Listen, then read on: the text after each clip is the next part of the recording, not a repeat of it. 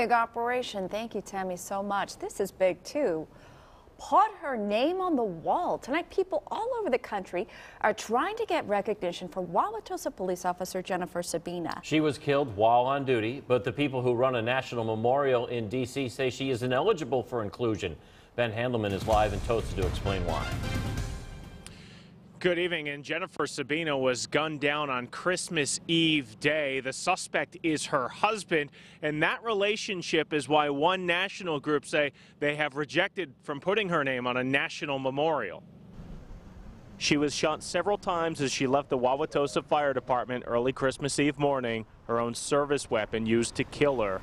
While Wauwatosa officer Jennifer Sebena was killed on duty, a national organization is refusing to add her name to a wall recognizing fallen police officers who die on the job. It was very unfortunate to hear that. Uh, I, I, was actually stunned. Brian Doro is a former instructor of Sebena's. He says the application was rejected because the National Law Enforcement Officers Memorial Fund has classified the death as a domestic situation. The suspect is Sebena's husband. She was on duty. Her husband ended up being the suspect, but she was killed on duty while performing her duties as a police officer. Doro is part of a growing list of people who are now trying to change the decision, a list growing with mouse clicks.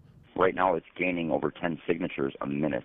I don't know what's going on on Facebook, but it seems to be going viral. Jason Aslin started an online petition in hopes the memorial will reconsider. I'm seeing the signatures on here from California, Florida, Nevada. I mean, it's incredible. Aslin is a South Milwaukee native who now lives in Michigan. He spends his free time helping the families of officers killed on duty around the country, which now includes Jennifer Sebena. In the end, I just want to see her put on the wall give her the respect she deserves. Wisconsin Attorney General J.B. Van Hollen is also weighing in. He sent a formal letter seeking change. Wisconsin's largest police union says failure to add Sebena may strain relationships with the group who frequently fundraises in our state. She died in the line of duty. She was on duty. It was a tragedy. And if there are any changes, they will likely come tomorrow. That is when I am told the National Board for this memorial has a regularly scheduled meeting and they will put the final touches on who they will add to the wall this year. Now, if you would like to sign your name to the petition, we've added it at fox6now.com.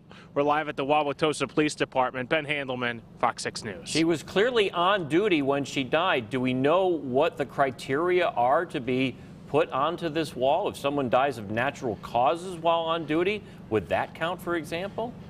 Yeah, and we had those questions today, and we called this national memorial several times. Our calls went unreturned. Ben Handelman reporting live tonight. Thanks. Uh, to a story.